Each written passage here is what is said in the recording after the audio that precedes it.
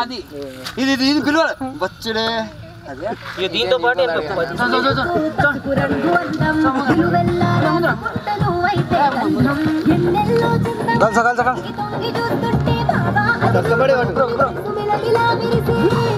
అమ్మాయి one two అమ్మాయి అబ్బాయి చూస్తూ చూడట్టుండాలా